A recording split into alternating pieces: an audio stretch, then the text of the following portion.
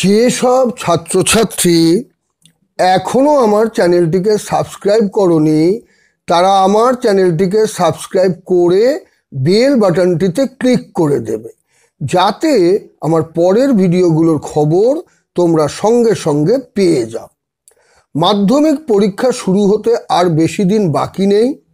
তোমাদের মধ্যে অনেকেই গণিত প্রকাশ বইটির সব অঙ্কের সমাধান করে ফেলেছ। যেসব ছাত্রছাত্রীরা অঙ্কে দুর্বল, যারা এখনও গণিত প্রকাশ বইটি সব অঙ্কের সমাধান করতে পারোনি, বিশেষ করে তাদের জন্য আমি মাঝে মাঝে গণিত প্রকাশ বইটি থেকে কিছু কিছু গুরুত্বপূর্ণ অঙ্কের সমাধান কীভাবে করতে হয় তা দেখানোর চেষ্টা করছি। যাতে তারা পরীক্ষার আগে ওই সব অঙ্কের বাড়িতে সমাধান করে পরীক্ষা দিতে যেতে পারে।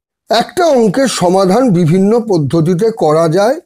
তোমাদের কাছে যে পদ্ধতি সহজ বলে মনে হবে, সেই পদ্ধতি অনুসরণ করবে। প্রয়োজনীয় সূত্রগুলো আগে মুখস্থ করে নেবে। সূত্র মুখস্থ না থাকলে অঙ্ক ভুল হবার সম্ভাবনা বেশি। শেষে একটা কথাই বলব, যে তোমরা এখন একদম সময় নষ্ট করবে না, কারণ তোমাদের হাতে কিন্তু সময় খুব কম। তাহলে শুরু করা যাক।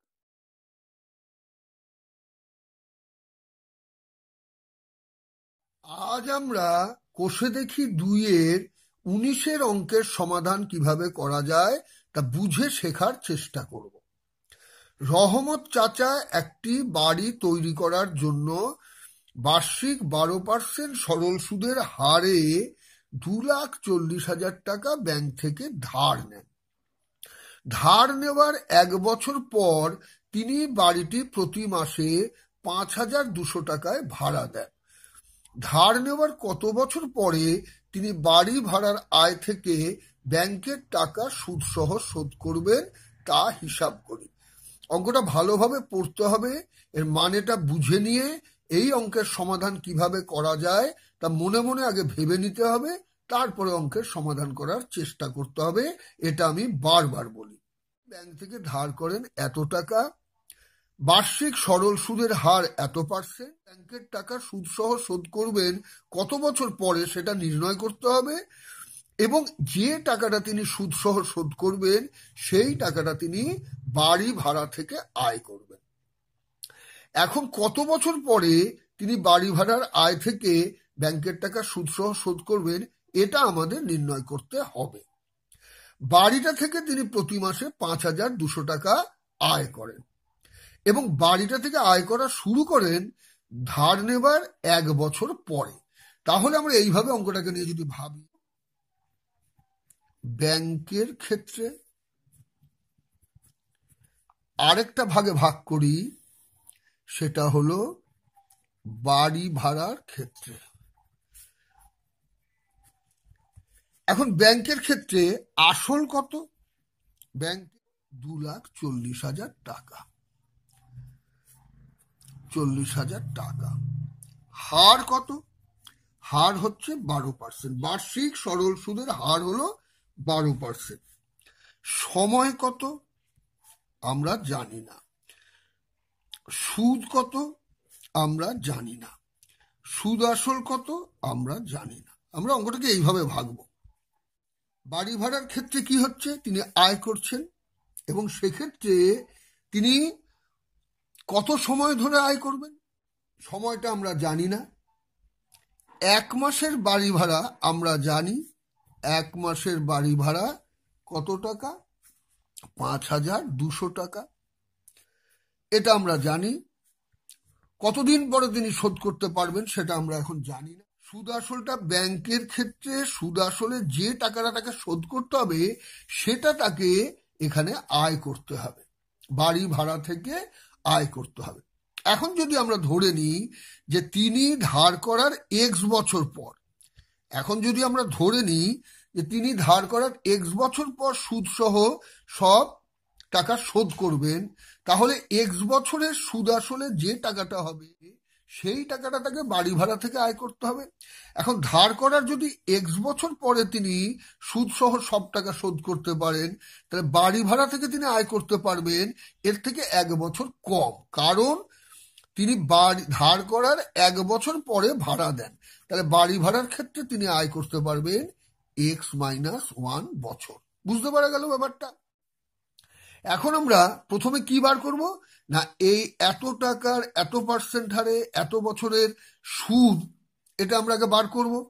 সেখান থেকে আমরা সুদ আসল বার করব। এবং বাড়ি ভাড়া থেকে এই এত বছরে কত হয় সেটা বার করব। এবং এই টাকাটা আর এই টাকাটা হবে সমান, আমরা সমান করে এই এক্সের মানটা বার করতে পারব। এটা আমরা এখান থেকে বুঝে গেলাম। আরেকটা জিনিস যে সকলেই জানো সুদ নির্ণয়ের একটা সূত্র আছে P into T into R by একশো। এটা তোমাদের জানা আছে। আমি একবার মনে করিয়ে দিলাম। তাহলে অঙ্কটা কীভাবে সমাধান করা যায়, এবারে আমরা দেখি। তাহলে আমরা লিখতে পারি এইভাবে, মনে করি ধার করার এক্স বছর পরে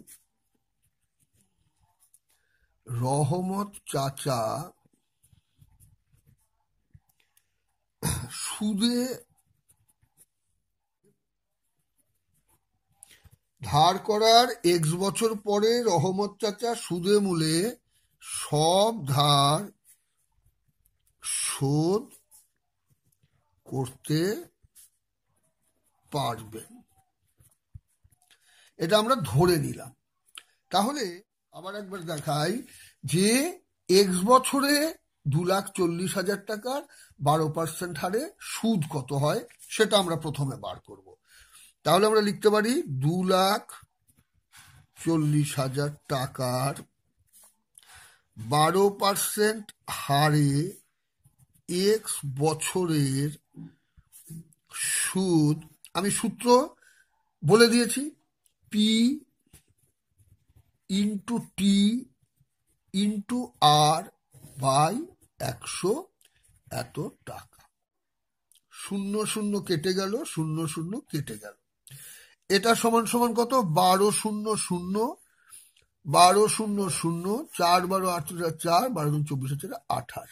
আঠাশ হাজার আটশো এক্স তাহলে সুদ আসল হবে, সুদ আসল সমান সমান আসল প্লাস সুদ।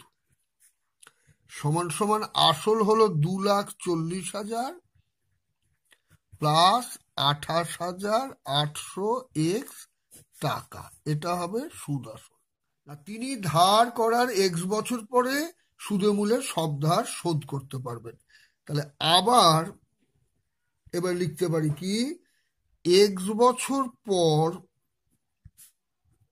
এক্স বছর পর সব ধার শোধ করলে, সব ধার শোধ করলে তিনি ভাড়ার টাকা জমাতে পারবেন, ভাড়ার টাকা জমাতে পারবেন এক্স মাইনাস এক বছর।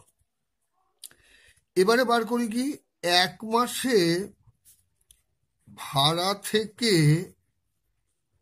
আয় হয় পাঁচ হাজার দুশো টাকা। তাহলে বারো মাসে ভাড়া থেকে আয় হয় পাঁচ হাজার দুশো গুণ বারো টাকা। সমান সমান বারো শূন্য শূন্য, বারো শূন্য শূন্য, বারো দুই চব্বিশ হাজার দুই, পাঁচ বারো ষাট আর দুয়ে বাষট্টি। বাষট্টি হাজার চারশো টাকা। এক বছরে ভাড়া থেকে আয় হয় আয় হয় বাষট্টি হাজার চারশো টাকা। তাহলে এক্স মাইনাস এক বছরে ভাড়া থেকে আয় হয় বাষট্টি হাজার চারশো গুণ এক্স মাইনাস ওয়ান টাকা। এই টাকাটা দিয়ে তিনি ব্যাংকের ধার শোধ করবেন। এবং ব্যাংকের ধার শোধ করতে গেলে সুদ আসলে তাকে এত টাকা দিতে হবে। অর্থাৎ এই দুটো সমান। তাহলে এবারে লিখতে পারি, প্রশ্নানুসারে বাষট্টি হাজার চারশো ইন্টু এক্স মাইনাস ওয়ান সমান সমান দু লাখ চল্লিশ হাজার প্লাস আঠাশ হাজার আটশো এক্স। বুঝতে পেরেছ? বা বাষট্টি হাজার চারশো এক্স মাইনাস বাষট্টি হাজার চারশো সমান সমান দু লাখ চল্লিশ হাজার প্লাস আঠাশ হাজার আটশো এক্স। এক্সগুলো একদিকে রাখি, বাষট্টি হাজার চারশো এক্স মাইনাস আঠাশ হাজার আটশো এক্স সমান সমান দু লাখ চল্লিশ হাজার প্লাস বাষট্টি হাজার চারশো। এটা বিয়োগ করি, আট, ছয় দাও হাতে রইল এক, নয়, তিন দাও হাতে এক, দুই আর একে তিন তিন, এক্স সমান সমান। ছোট করে এটা রাফ করছি, কারণ মুখে মুখে করলে ভুল হতে পারে। দু লাখ চল্লিশ হাজার বাষট্টি হাজার চারশো। তাহলে হলো চারশো দুই, তিন লাখ দু হাজার চারশো। বা এক্স সমান সমান তিন লাখ দু হাজার চারশো বাই ত্রিশ হাজার ছশো। শূন্য শূন্য শূন্য শূন্য। এটা একবারে কেটে যায়।